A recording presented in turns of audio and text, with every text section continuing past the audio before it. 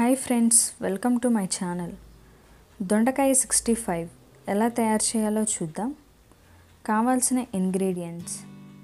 కడిగి పెట్టుకున్న దొండకాయలు శనగపిండి కార్న్ఫ్లోర్ పల్లీలు కరివేపాకు కారం ఉప్పు పసుపు జీడిపప్పు శనగపప్పు జీలకర్ర వెల్లుల్లి డీప్ ఫ్రైకి సరిపడా ఆయిల్. దొండకాయ ముక్కల్ని సన్నగా పొడవుగా ఇలా కట్ చేసుకొని పెట్టుకోవాలండి. ఓన్లీ పచ్చివే తీసుకోవాలండి. దొండకాయ ముక్కల్లో శనగపిండి కార్న్ఫ్లోర్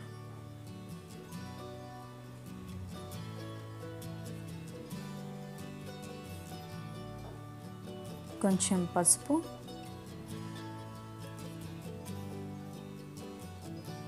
రుచికి సరిపడా సాల్ట్.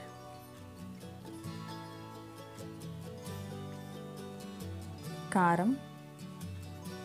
యాడ్ చేసుకోవాలండి.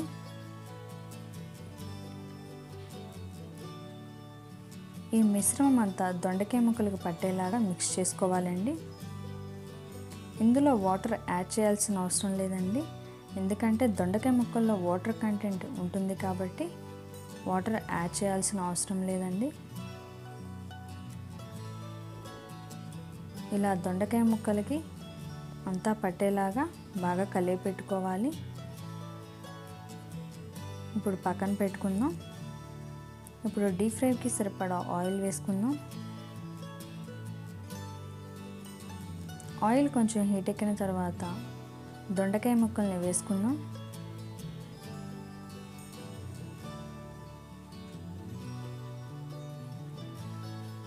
దొండకాయ ముక్కల్ని ఒక్కొక్కటిగా సపరేట్గా వేసుకోవాలండి.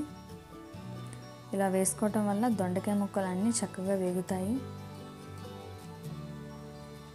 మీడియం ఫ్లేమ్లో పెట్టుకొని వేయించుకోవాలండి.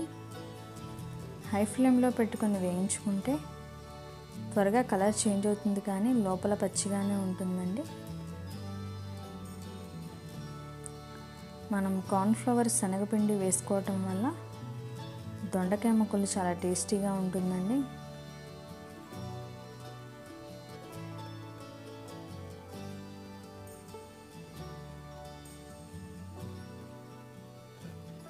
మధ్య మధ్యలో గరిటతో తిప్పుతూ ఇలా వేయించుకోవాలండి. ఇలా గరిటతో తిప్పుతూ వేయించుకోవటం వలన ముక్కలు అన్నీ చక్కగా ఫ్రై అవుతాయండి. ఫ్రై చేసుకున్న తర్వాత వీటిని ఒక సపరేట్ ప్లేట్లోకి తీసుకుందాం.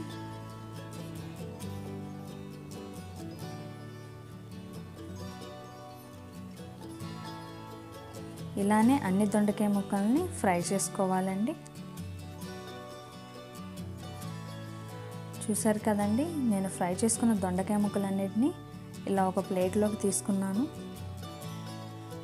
ఇప్పుడు స్టవ్ వెలిగించుకొని ప్యాన్ పెట్టుకుందాం.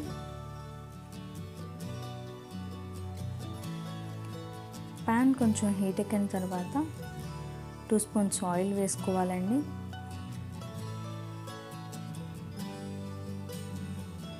ఆయిల్ ప్యాన్ మొత్తం స్ప్రెడ్ అయ్యేలాగా తిప్పుకోవాలి. పల్లీలను వేసుకుందాం.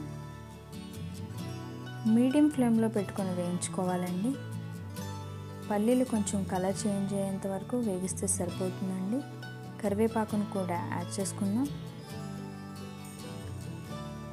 జీలకర్ర వెల్లుల్లి కూడా యాడ్ చేసుకుందాం.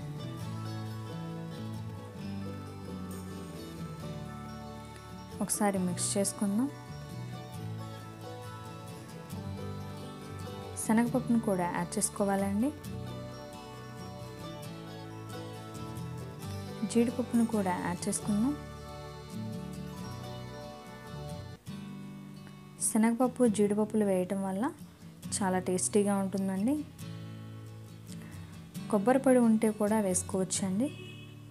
ఇవి వేగిన తర్వాత ఫ్రై చేసుకున్న దొండకాయ ముక్కల్ని కూడా యాడ్ చేసుకుందాం.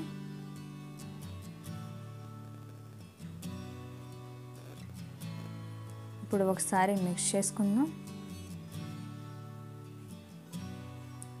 ఒక నిమిషం పాటు వేగిస్తే సరిపోతుందండి. చూసారు కదండి చాలా సింపుల్గా దొండకాయ సిక్స్టీ ఫైవ్ రెడీ అయిపోయింది. ఇది రైస్లోను సైడ్ డిష్గా చాలా టేస్టీగా ఉంటుందండి. Please subscribe to my channel. Thank you.